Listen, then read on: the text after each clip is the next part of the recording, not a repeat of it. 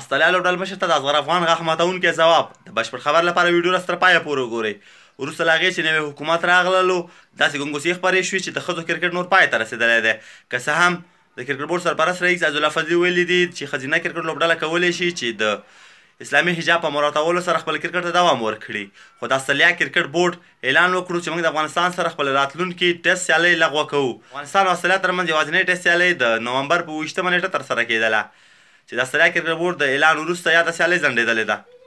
تازه د استرالیا کرکټ ملي لوبډلې لوبډلمشر ټام پېن ویلي دي چې افغانستان باید په راتلونکي شاوري نړیوال جام کې ونه لوبېږي ځکه افغانستان ښځینه کرکټ ته اجازه نه ورکوي.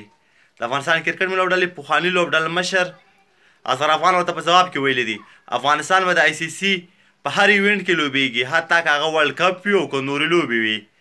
تاسو په کوم اساس باندې دا خبره کوئ؟ تاسو موږ ولې نه درک کوئ؟ افغانستان دلته هسې نه دی رسېدلی، افغانستان له صفره شروع کړی او دې مقام ته رسېدلی دی. هېڅوک حق نه لري چې افغانستان دې د شل اوریز نړیوال جام څخه وباسي.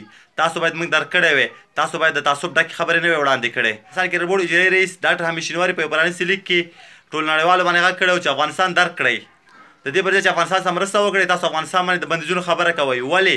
تاسو د افغانستان دېرش میلیون نفوس نه ګورئ؟ تاسو د افغانستان اوسنی حالت نه ګورئ، تاسو د افغانستان اسلامي او کلتوري ارزښتونو ته درناوی نه کوئ. افغانستان کرکټ بورډ لوبډلې فش بالر دولت ځدران هم د اصغر افغان پوسټ کاپي کړی دی او په خپل فېسبوک پاڼه یې نشر کړی دی. نوموړي هم هغه څه له کرکټ نړیوالې شورا غوښتي کوم څه چې ترې اصغر افغان غوښتي وه.